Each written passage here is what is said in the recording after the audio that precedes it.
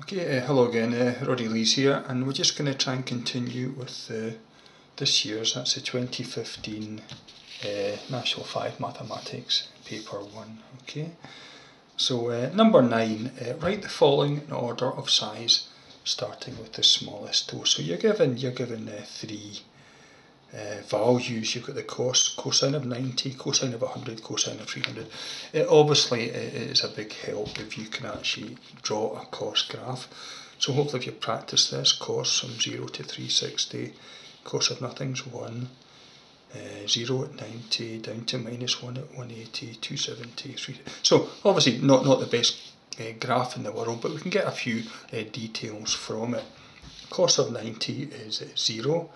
Now, the cos of 100, um, whatever it is, is going to be negative. So we can, we can appreciate that the cos of 100 is negative, And we can also appreciate that the cos of 300 is going to be positive. We don't know the values, uh, but we can at least put them in order, right?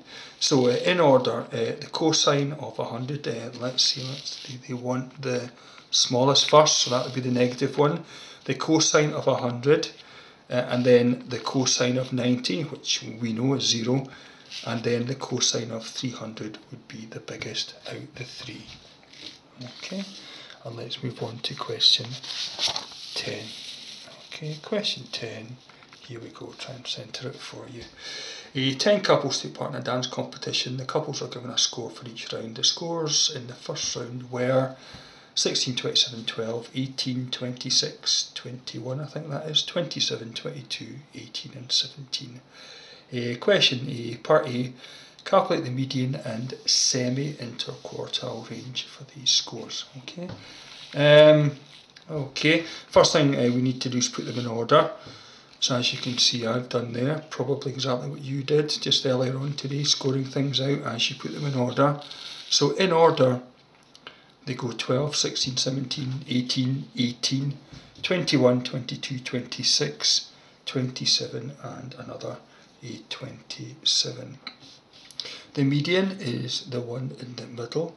Obviously with being 10 couples there's not actually a number in the middle so it has to be between 18 and 21. Halfway between 18 and 21 is 19 and a half.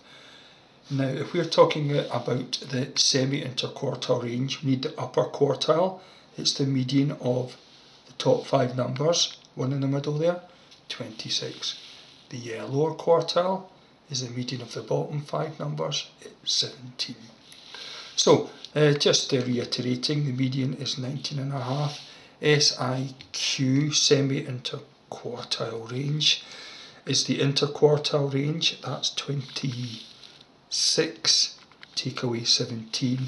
Semi-8 parts of it, as its name implies, means you half it, divide by 2. 26 take 17 is 9, divide by 2, 4.5. Okay. Part B, uh, in the second round the median was 26 and the semi-interquartile range was 2.5.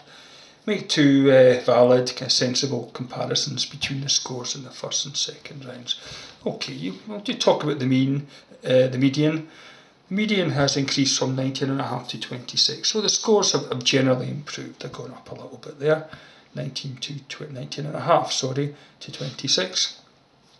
Semi-interquartile range has decreased from 4.5 to 2.5. What that means is that the second round scores are less varied. They're more kind of grouped together than they were in the first round. Okay, and let's move on. 13 we'll get to in a minute. Question 11 was a pretty straightforward simultaneous equation. Okay, so here we go. Uh, I've written it out as you might expect from me. I've written it a little bit bigger so you can see it. Um, my tactic is to usually go for this one. So I'm going to make them both 10s. Uh, 5 3s, 5 2s, 5 17s, 5 3x's, 15x plus 10y, 5 2y's. 5 17s, as you can see I did a little sum over here, 85. And in order to make that 5y a 10y, you've got to double it, so you have to double the whole lot. That's going to give you 4x plus 10y equals 8. Obviously, there's a lot of ways to do this. Um, my tactic is would I rather do 15 take 4 or 4 take 15? Well, I'd rather do 15 take 4. So this one has to be negative. So I'm going to multiply this line by negative 1. I've just drawn that, I've written that, sorry, uh, down to here. And I've multiplied this by minus 1. And I've written that here. Okay. Uh, 15x take 4x is 11x plus 10y take 10y. They've gone. 85 take 8 is 77. 11, what's a 77? Of course, that's 7. And then I can go back to any equation I wish in order to get the y, and I'm going to pick the one with the easiest numbers. There it is there. 3 times x plus 2 times y is 17. Now if x is uh, 7, 3 sevens are 21, plus 2y gives 17. 2y would be minus 4 and y would be minus 2 therefore. Okay, so x is 7 and y is minus 2. Okay, on to question 12. Okay, we did a few of these in practice, so hopefully you, you remembered it. You um, factorise the top, factorise the bottom, something should cancel. Uh, always does with this kind of sum. x squared take 4x is a common factor that's x times x take 4 in a bracket. You can see I've kind of cancelled it out. Um, x squared plus x take 20 is uh, x take 4 times x plus 5. Hopefully you can see that. The x take 4's cancel and you're left with x over x plus 5 and that's it there. So let's turn over for question 13.